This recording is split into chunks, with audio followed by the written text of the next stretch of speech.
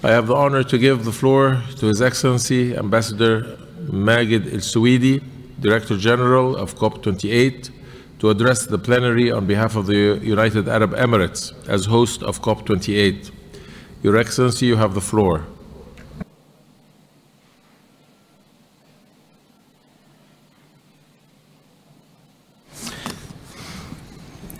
Your Excellency Sameh Shoukry, uh, COP27 President, Your Excellencies, ladies and gentlemen, it's a great honor to be here representing the United Arab Emirates, the host nation of COP28. I would like to thank Egypt for their warm welcome and hospitality, and I also want to thank the Secretariat of the UNFCCC, all the delegates, and the representatives of the international governmental and civil society organizations. The progress we have made at COP27 is the result of our shared commitment to strengthening our response to climate change.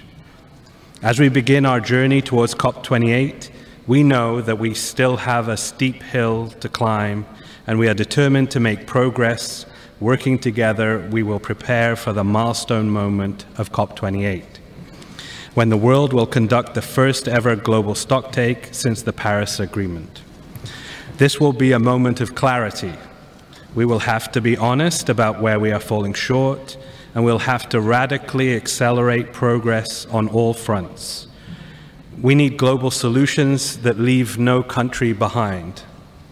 We need a new deal on climate finance so that trillions flow to developing and vulnerable nations that need it the most.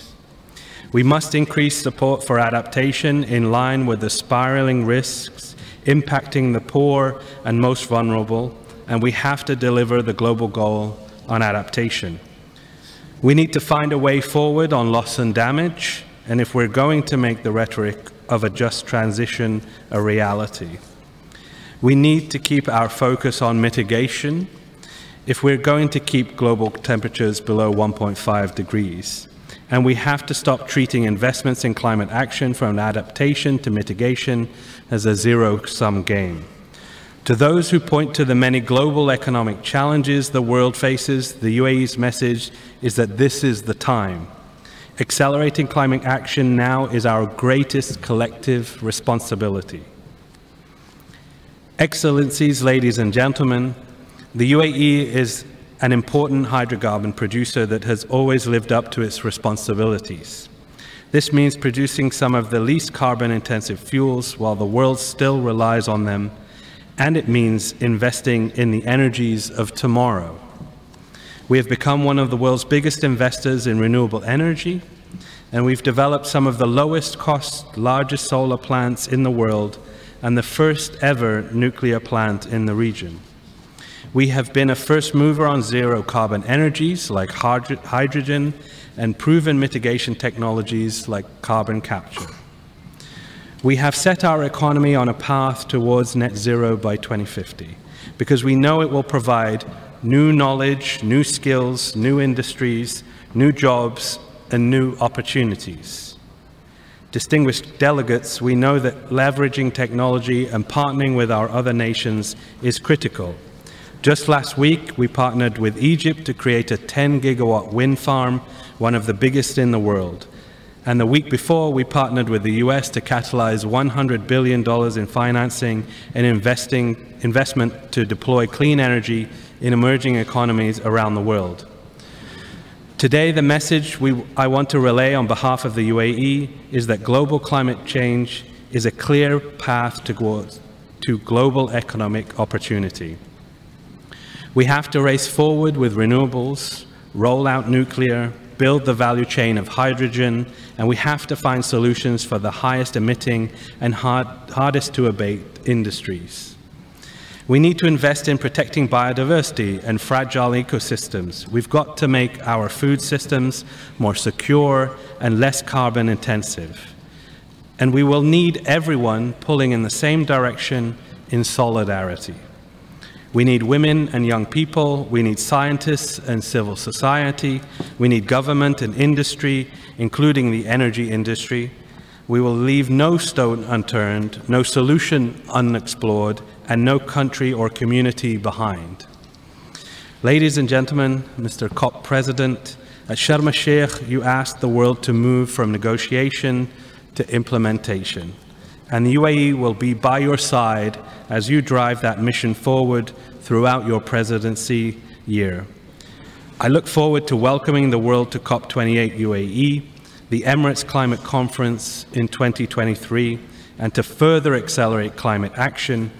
And we look forward to partnering with everyone to create a platform for practical solutions and to secure a truly sustainable future for all. Thank you very much.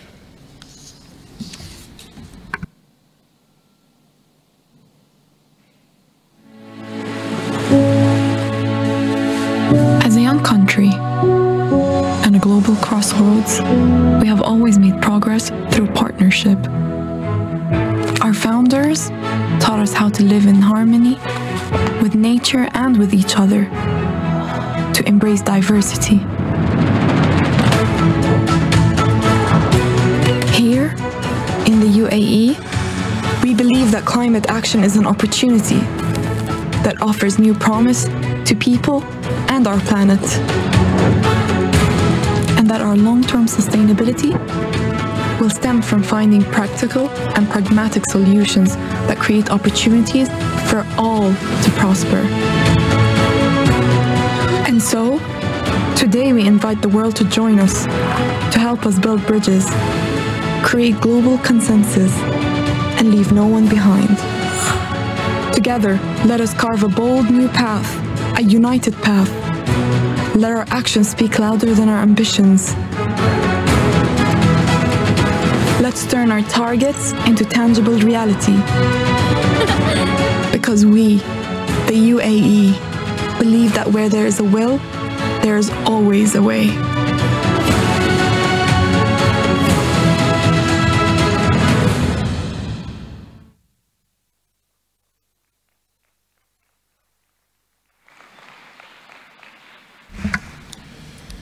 Thank you, Excellency. We look forward to working with you in the preparations for the sessions next year.